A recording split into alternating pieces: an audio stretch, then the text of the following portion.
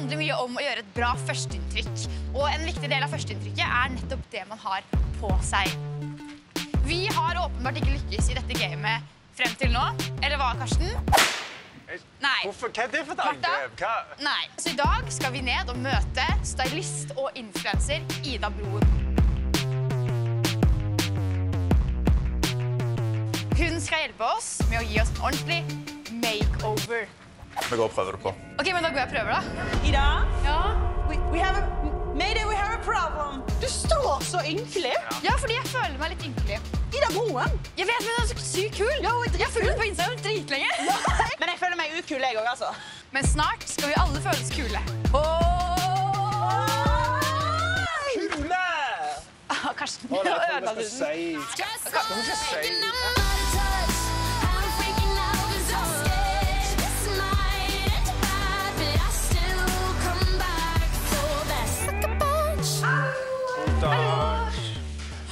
dere spent? På skoen. Twerker på skoen. Jeg føler meg så tjuskete. Jeg har aldri følt meg så tjuskete før her, som her inne. Hvor viktig tenker du klær er på første date?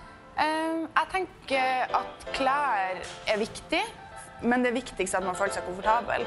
Så jeg har begynt å se litt bort ifra det der pynte... Du vet, Før så var det sånn nå skal man ha på seg en kjole eller ta på seg en masse smykker eller sminke seg, dolse.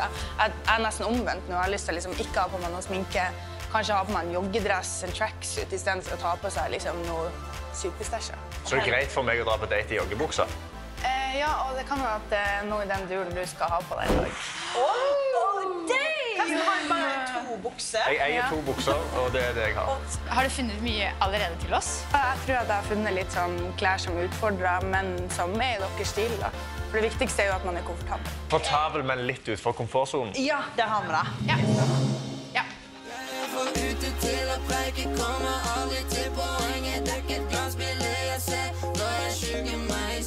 Jeg er litt redd for at jeg ble puttet i en kjole. Jeg trodde jeg skulle glede meg mer, men nå er jeg mer redd enn jeg trodde jeg skulle være. OK. Så det jeg først tenkte på, var at jeg kanskje kunne vise den kjolen her. Som er en sånn litt fin sommer-jeanskjole. Martha, du bare Er det en liten kjole jeg ser? Men den er veldig fin. Han var veldig fin. han var veldig fin. Jeg er veldig spent på å prøve. For jeg kjenner sånn, jeg, jeg, Hvis jeg hadde sett denne kjolen i butikken, så tror jeg ikke at det hadde vært et instinkt hos meg noen gang å skulle liksom gå og kikke på den engang. Men jeg føler liksom, jeg stoler veldig på deg. Okay, ja. Så hvis du sier at jeg skal ha den på, så er jeg sånn ja. Men vet du hva, da skal jeg gi det et forsøk. Det var en sykt fin kjole. Ok, men Da går jeg og prøver, da. Jeg er spent. Lykke til, lykke til! Det var det jeg fryktet. Det var det jeg fryktet mest av alt. Det ble en kjole. Fuck! OK, jeg er klar. Nå kommer jeg.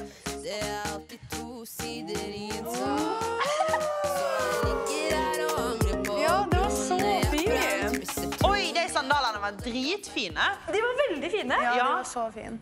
Det er sånn jeg vil at kjolen skal sitte, at den skal være litt sånn oversized. Ja. I'm beautiful! Føler du deg komfortabel? Jeg føler meg litt, u litt uvant. Ja. Jeg prøver å liksom, jobbe meg litt inn i det. Ja? Det er jo, sånn, det er jo helt krise. Det er, det er jo ikke meg å gå med kjole. Daten min kommer til å, å møte en person som ikke er meg. Hello. Jeg liker veldig godt vesko. Er veldig, veldig fornøyd med det her. Men kan jeg spørre deg om en ting som jeg lurer på? Tror du på ekte kjærlighet? Eh, det gjør jeg. jeg tror, eh, men jeg tror liksom at man kan møte den rette på feil tid òg. Så det kan at du har møtt den personen du skal være med fra før av. Nå fikk jeg noe å tenke på. Nei, OK, da er du klar, da. Tusen takk. Jeg redd for å få en eh, kort, tett kjole. Men eh, hvis det ikke er det, så veldig tette klær er jeg ikke veldig behag i. Og jeg er, sånn, jeg er egentlig ikke sånn smykkemenneske. Eh, Jeg har også gjort litt research på deg og funnet ut hva du liker. Og det sett at du, For det vet jeg ikke. du liker ting som er liksom enkelt og greit. Nøyaktig. Så derfor tok jeg noe som er veldig, veldig komfortabelt.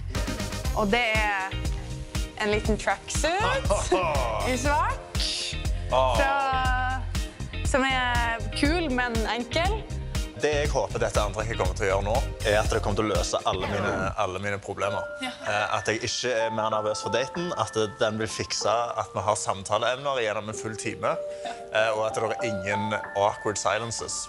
Og hvis det er en awkward silence, så er det for å beundre tracksuiten. Ikke sant? Very nice. Vi går og prøver det på. Jeg er spent. Nei, Karsten, jeg er spent. Er du spent? Jeg er spent. Jeg er litt redd for at han skal se litt for kjekk ut. Hva har jeg sagt? Det er alltid to sider i en sak. Nå kommer jeg! Jeg trenger ikke høre det jeg jeg, sier, da. ja, jeg innså med en gang jeg sa det, at det var litt sånn feil setning å si. Pa passa det? Alle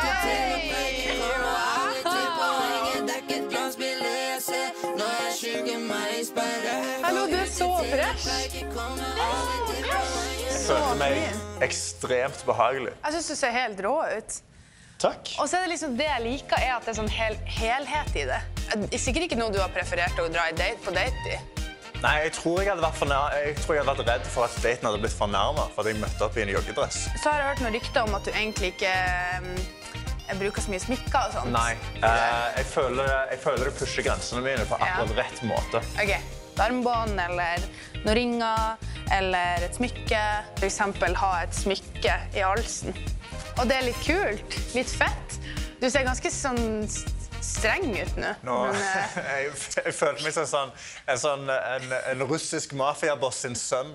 Ja, jeg føler meg egentlig ekstrem ubehag over å ha på meg eh, smykkene og sånn. Og klærne er jo kjempebehagelige, men uh, vekten av blingen hengende på kroppen min er, er tung. Lillefingerring. Jeg hadde aldri trodd jeg skulle få se deg med en ring. Du ser stilig og kjekk ut. du ser kjekk ut, Karsten. Det er det jeg vil høre. Meg og Annika, nå angrer vi på at vi lager denne serien. For vi har lyst på deg. Martha, din tur.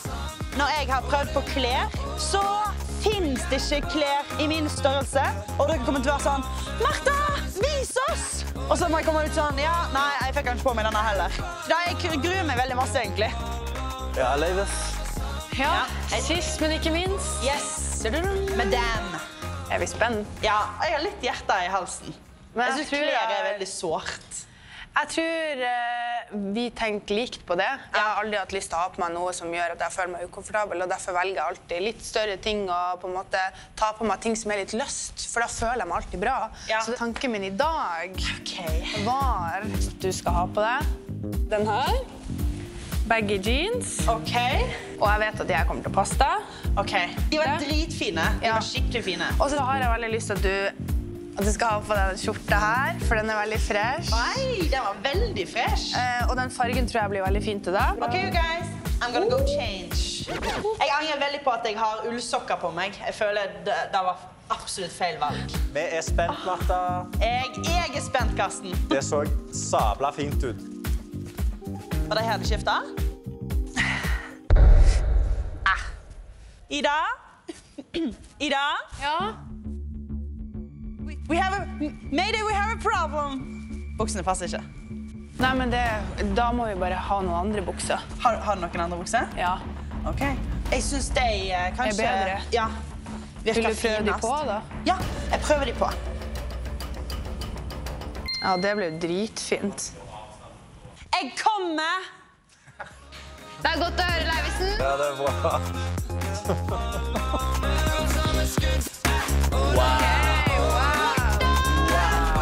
Så sykt fresh farge.